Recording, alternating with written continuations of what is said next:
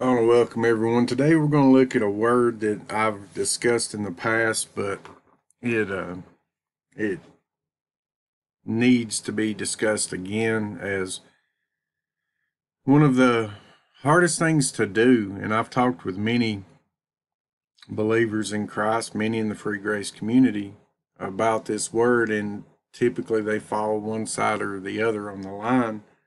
But it's very hard for people to let go of a word and one of the biggest infections into Christianity, especially within the free grace circles, is Calvinism, Reformed thought, replacement theology, which have um, really muddied the waters on many, many things. And it happened over years, years of redefining words. And we know we can hear a word sometimes and we can put our own definition on it, be it the word repent, baptize, may make you think automatically of water. If you hear the word ordained and in your mind you apply the words by God without the context actually denoting that God was the one doing the ordaining or the arranging, then you have to admit when you read a word's uh, etymology and its root, sometimes it doesn't match our theological presuppositions. And the word that keeps coming up, and like I said, I believe it's from the infiltration of, of Calvinistic uh, overtones working their way into the free grace community, is this idea of when we read the word reprobate in the Bible, that we automatically assume that it is rejected by God for all time or damned to hell with no hope of of turning to God in the future. And we'll find if you study the theology honestly backwards, you'll see that this stems from Reformed thought. They need a group that is elect before eternity or before the world began in eternity past, and they need a group that is reprobate unsavable. And depending on the group, they'll have a specific um, sinful group or a specific ethnic group, such as the Jews or the homosexuals. All of these would give them this um, target to throw the word eternally rejected by God because of fill in the blank. The word reprobate, well, firstly, when you read the Bible, remove all theological or re- religious overtones and just read the text. Study the words. This is from common, um, Hebrew, common, or Koine, common, that which everyone used, Greek, or Aramaic. These are not religious words.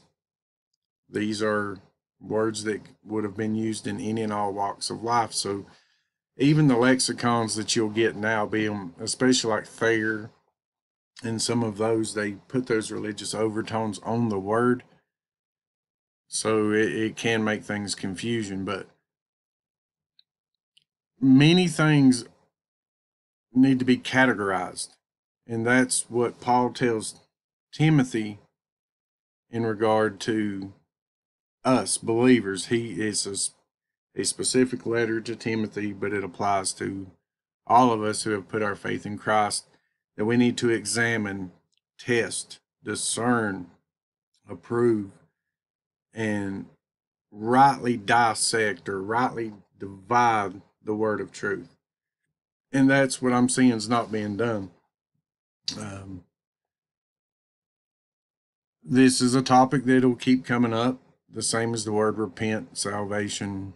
In other words, it's not an a topic that's going away anytime soon, but as a Bible believer, we need to believe the Bible, even if it undermines what we thought, um, usually by someone that taught you from a reformed camp, and and just go with the text. But our works will be tried. And I'm starting with this verse, so help hopefully it'll unmuddy the waters on this topic of that which is reprobate, probate, approved, disapproved, and so forth. 1 Corinthians 3 11 through 14 tells us believers that for other foundation can no man lay than that is laid, which is Jesus Christ. Now, if any man build, so this is your works, upon this foundation gold, silver, precious stones, wood, hay, and stubble, or wood, hay, stubble, every man's work shall be made manifest, for the day shall declare it, because it shall be revealed, and the fire by fire, and the fire shall try, test every man's work of what sort it is. If any man's work abide, which he hath built thereupon, he shall receive reward. And some of our works will burn up, and we will not receive a reward. The word that is used for try there in English, plain as day, but people uh, are struggling. So we will compare the underlying word uh, with our work that's being tried. And it comes from a family of words. You know, we have families of words in English. We likewise in, in all languages and dialects throughout the world, we have words and then branches off that root. The word there is dokimazo, and that's from the Greek 1381 and it simply means to test, by implication to approve, allow, discern, examine, prove or approve, to try. It means you're examining the quality, you're categorizing and, and testing the quality of our works, or if our works are done with the conditions that impart quality or value, we will receive a reward. If they're done by faith and with the right motives, God will reward them. However, if they're done for selfish purposes, wicked purposes, they're not in line with the acceptable or probate will of God, that they are deemed worthy of reward, we simply watch them burn up and they have no value. Second Timothy tells us as Christians to study Study God's Word. Study and examine all things. Study to show thyself approved. Approved unto God. Now, this is a believer, heaven bound, by faith in Christ, accessing the grace God offers to all men.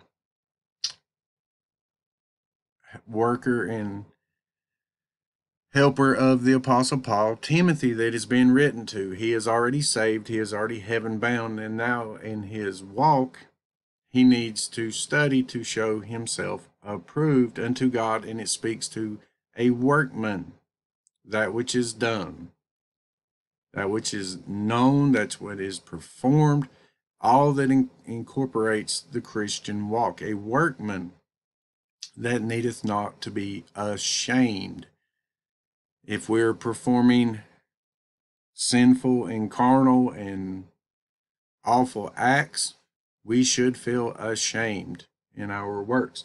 Those works are reprobate. God does not approve of them. They're unacceptable, and we will not be rewarded for that which lacks the qualities or value or worth of reward or a crown, for instance. The word for approve there that Timothy needs to show himself, thyself. This is specific for each and every one of us unto God in our walk. A workman is from that family. G 1384, that would be dokimos, one that is used quite a bit, and we'll see it further down on the page. Dokimazo, dokimos, dokimazo actually comes from the same word used in 2 Timothy 2:15 as you see on the screen. And now we get into the idea of reprobate. the Calvinists, the Reformed, and even the free grace circles that have adopted this ideology, which comes from Calvinism. It does. Research it for yourself. Um, that God has eternally reprobated a person to hell, uh, whether they're in error, uh, currently a false prophet, whatever it is, homosexual, Jew, Russian, fill in the blank, slot, everybody has somebody, comes from Calvinism. The word is not a religious word. If you see a religious overtone on a, on a word that is added in the 15th century, you see Calvinism really taking a uh, large jump and trying to redefine the dictionaries in such ways.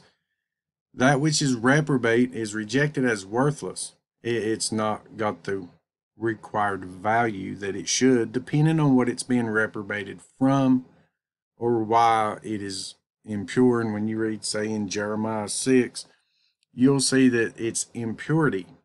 It paints the idea of, of a founder, someone that's purifying metal, who is not removing the impurities and therefore reprobate silver, impure silver, corrupt, non refined, therefore of no value, shall they be called because God had rejected them.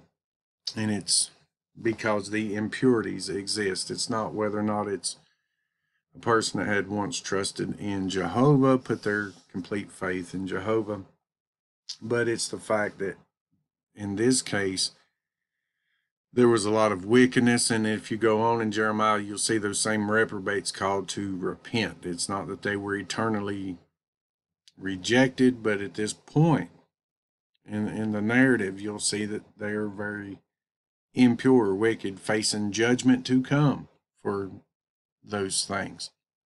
Um, in the English, it uh, sprouts out of Latin reprobatus, past principle of rep reprobar. Reprobar. Disapprove, reject, condemn. So when we reprove something, we have reprobated it, for instance. Because to probate and prove, approve, these are all synonymous ideas. That is being accepted due to its qualities or rejected for the lack thereof. All believers are accepted in Christ when they have placed their faith in Christ in that sense, they have the quality now of imputed righteousness. However, in many things they can be reprobate. Uh, a carnal believer reprobate in their walk, their works rejected, their life of no value. It when you add the re in this case, it's the opposite of or the reversal of previous conditions. So you can be probate and then reprobate depending on the context. Probare means proved to be worthy.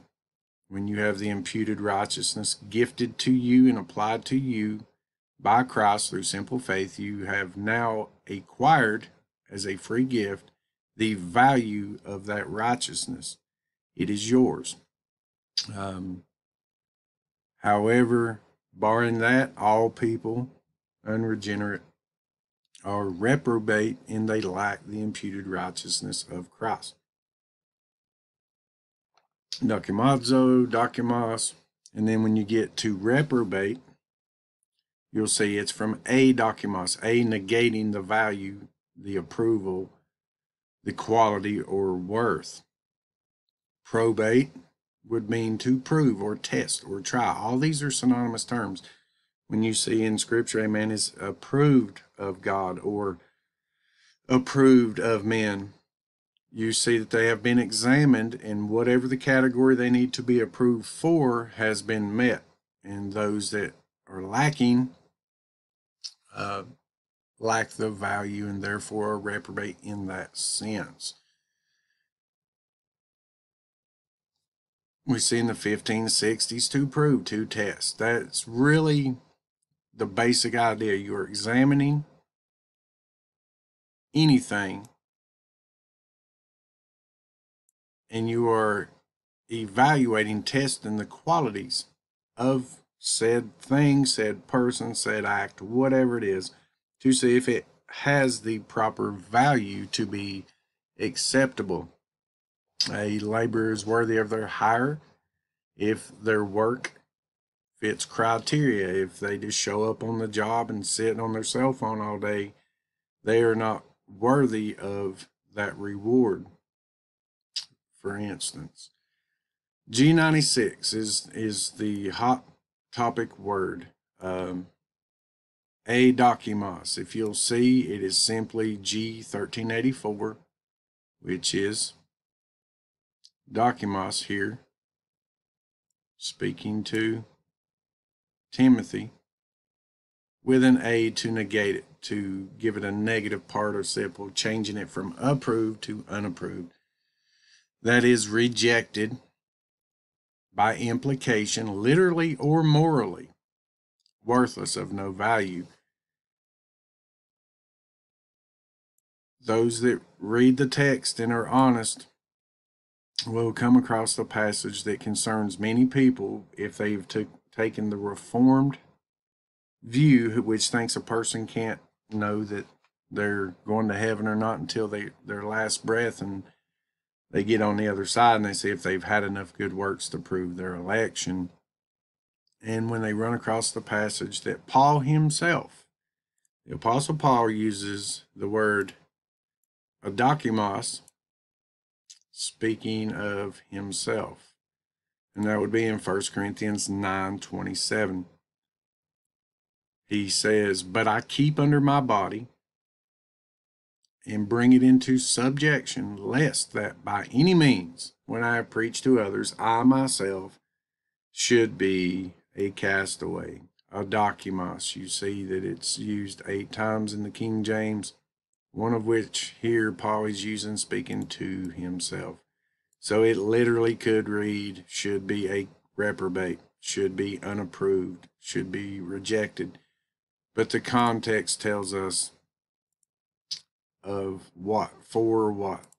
What might paul not have the worth value or um, qualifications to gain and might be rejected from that he may be disapproved or disqualified from? And if you look in First corinthians 9 in this section, Paul is speaking of reward. To receive a prize. Know ye not that they which run in a race run all? Everyone runs in a race, but one receiveth the prize. So run that ye may obtain what? Eternal life? No. Rewards, prizes, and every man that striveth for the mastery is temperate or controlled, disciplined in all things. Now they that do it to obtain a corruptible eternal life or salvation, no, a crown. I therefore so run, working, laboring, not as uncertainly so fight I not as one that beateth the air, but I keep my body under subjection lest that by any means, when I preach to others, I myself should be a castaway, adokimos, not receiving the prize, the crown. In the same book that speaks of those works that we do will be tried. They will be examined, they will be tested. Some will be probate if they have the correct value, the correct worth. That which comes through faith, that which is not wicked, that which is not self serving, and so on and so forth. And what you'll see is reprobate, probate will be contrasted many times with test or examine or try because it is checking the qualifiers, the value, that which is proved. You see there in that same family, prove. These in Corinthians, you'll see Paul is having to address them as they are questioning his apostleship. So, to give them the answer to their own question, examine yourselves. Prove your own selves. Except ye be reprobate, adokimos.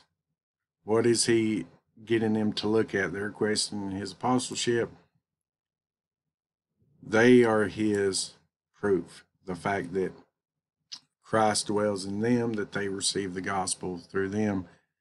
The evidence that they were seeking was in the mirror. All they had to do was look inwardly, see they had trusted Jesus Christ, and it validated or proved Paul's apostleship. We as believers absolutely can be reprobate concerning the faith. What do you see here? Men of corrupt minds. We as believers can resist the truth. We can walk in total carnality we can be of no value, disapproved concerning the faith. We as believers in uh, such as in Titus 1:16 we can profess to know God and that can be true. We can have known Jesus Christ, come to the knowledge of the truth, placed our faith in Jesus Christ, and then we can be just like the Corinthians, babies and in our works, you see now it contrasts, they profess that they know God. There's your profession. But in works, in the way we live, we deny Him. Being abominable, can a Christian be abominable? Yes. Can a Christian be disobedient? Absolutely. And into every good work disapproved, unapproved, reprobate, lacking the qualities for the good works. And that should take your mind back to 1 Corinthians 3, talking about trying our works. Same here in Hebrews 6, speaking to believers who are to go on to maturity. We have one ground producing two different things. And that, if it is produced thorns and briars, denote bad things, unapproved things, unfruitful things. These are what? Adokimos, unapproved. And nine to cursing, whose end is to be burned. So what happens to our bad works? Our wood hay and stubble. They are rejected in the sense they lack the qualities to be rewarded. They have no value in the eternal perspective. They are adokimos, they're unapproved, they're rejected due to lack of quality. Here we have dokimos used over and over as shown 2 Timothy 2:15 Paul speaks to theirself not that they not that we should appear approved dokimos but that ye should do that which is honest though we be as reprobates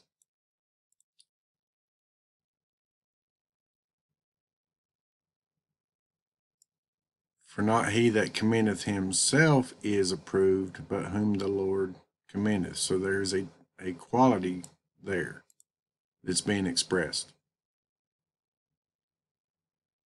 For there must also be heresies among you, that they which are approved may be manifest among you. That's dokimos, acceptable, approved salute Apelles, who Paul, through the inspiration of the Holy Ghost, says is approved. He is one that has been tested, examined in Christ.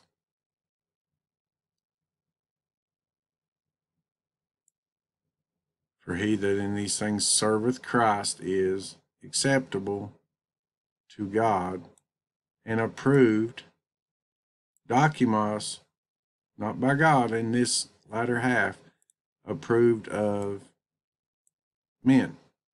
So approved by men. They have been examined and tested and deemed acceptable by men. Simply means properly acceptable. We're to rightly divide the word of truth. We're to learn to discern, examine, test that which is good and evil.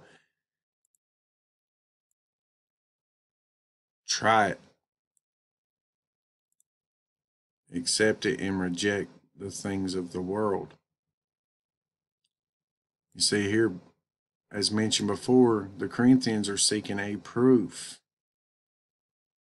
of Christ speaking in me. This is the Apostle Paul, which to you word is not weak. So the proof is not weak, but mighty in you. Proof there comes from the same family, dokime, from the same as dokimos, G1384. Test. By implication, trustiness. Proof, trial. So I hope this is, is taking away the fog that is all over this word because it is unnecessary. All things fall into categories. You have an unbeliever who is reprobate in all senses. You have a believer who can be repro- be probate in the sense he is saved or she, and the fact they have the imputed righteousness of Christ, and then reprobate unto every good work. Their works can be reprobate their lifestyle can be reprobate. Their preaching can be reprobate. They can become a Galatian and start preaching an accursed gospel, at which point that message is reprobate. It's unacceptable to add works to faith. 1 Timothy 3 gives us an entire list of how to test someone to see if they can be a pastor, a bishop. These qualities are what are being tested. If they exist, then they meet the criteria and they are probate. They are proved. They're approved for the office of a bishop. However, if they lack these qualities, if they are examined and found wanting these qualities, they are not probate for the office of a bishop. They are reprobate they are lacking. These qualities can be added, but these qualities can also be lost if a person turns back to the world as a believer. They must be. It doesn't. This is the the dokimos test. This is the approval test. They must be blameless, the husband of one wife, vigilant. They must be sober, so a a lifelong drunkard cannot be a pastor. They must be of good behavior. They must be given to hospitality. They must be apt to teach. They must be not given to wine or a wine bibber or alcoholic, one who settles everything with his fist, a striker, a greedy person, but they must be patient, have the ability of long suffering and perseverance. Not a brawler, not covetous. So they can't be greedy, they can't be covetous. They and if they lack these qualities of they must have, then they're reprobate considering the office, concerning the office of bishophood. The same way with deacons. See, if a person is new in the faith, they cannot be a pastor. Why? Pride in this believer follow into condemnation of the devil. They must have a good report of them that are without the body, lest he fall into reproach and the snare of the devil. A Christian walking outside of these qualities is on dangerous ground. and a much easier prey for the devil and his condemnation, his snares. So when we examine, I've highlighted this here, qualifications for deacons. This is where it switches from bishop or pastor to deacons. Likewise, when you examine for someone that wants to be a deacon, they must be grave. Can't be double tongued.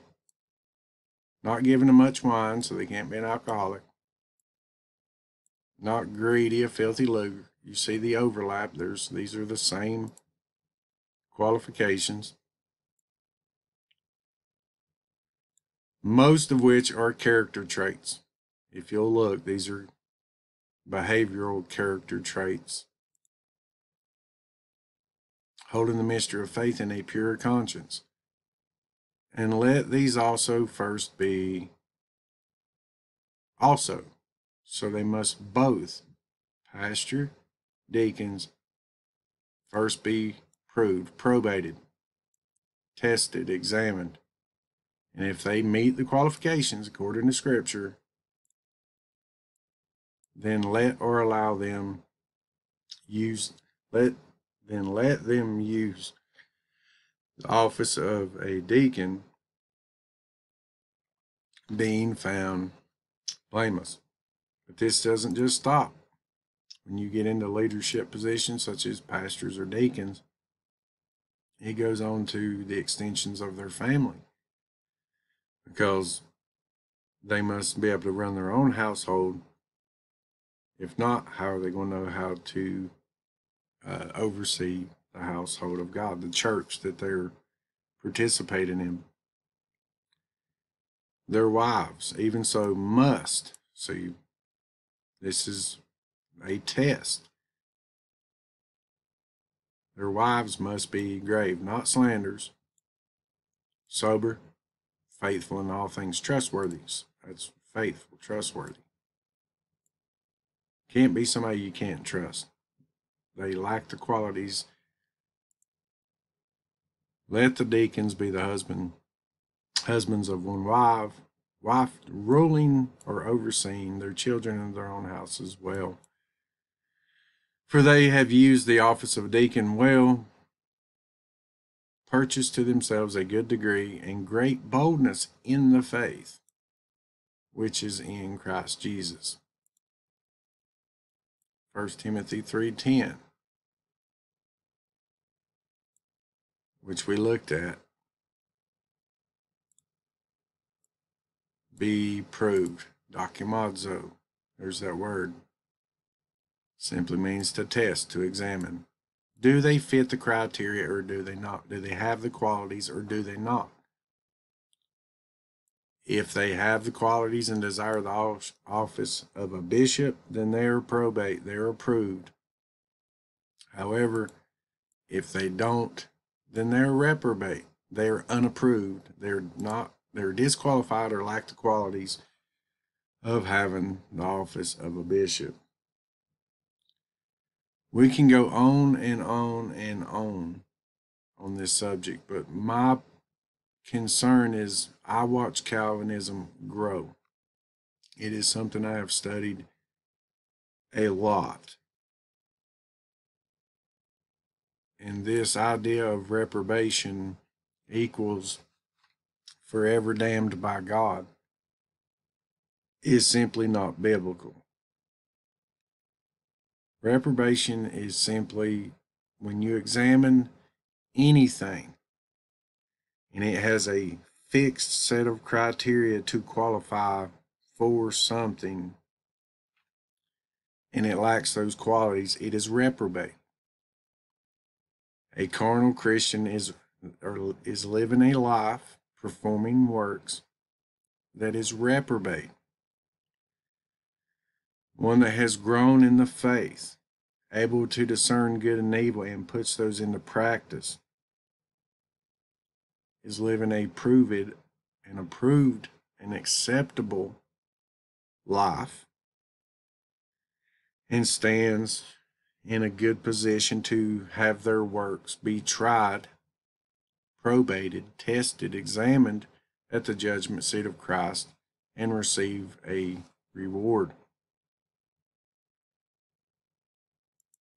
When you see the semantic range of this impurity, that which you know, lacks the proper qualities, it'll help you understand in Romans 1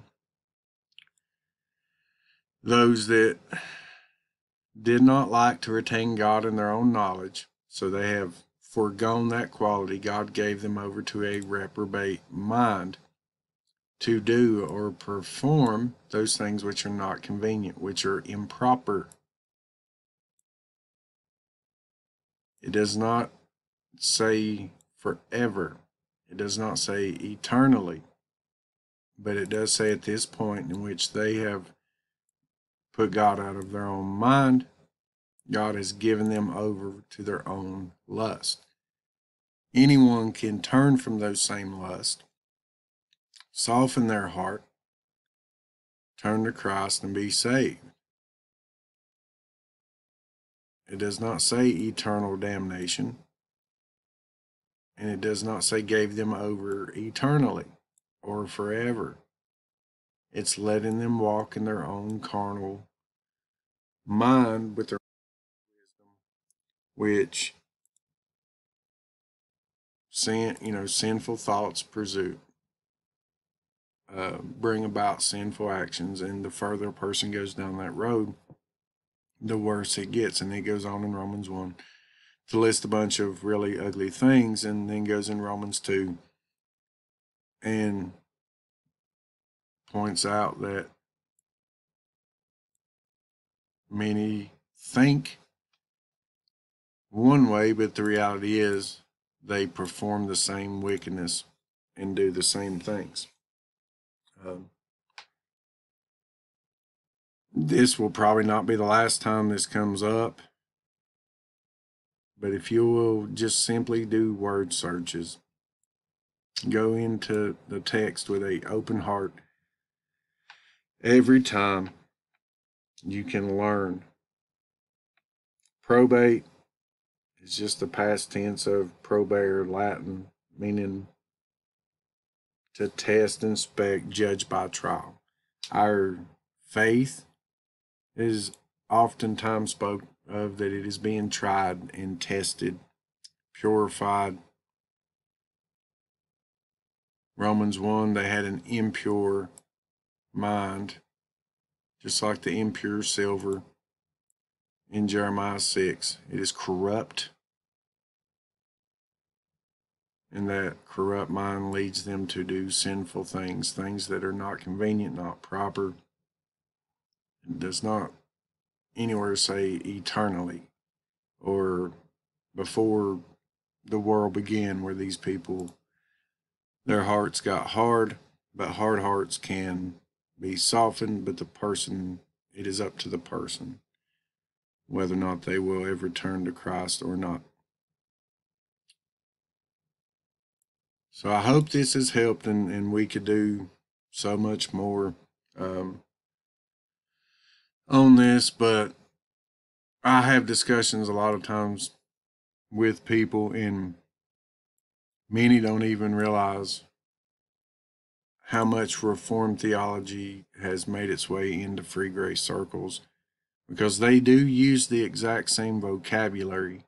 And many saved people are in Calvinism, just like many saved people are in the Wesleyan Arminian side. Um, but they're just trapped.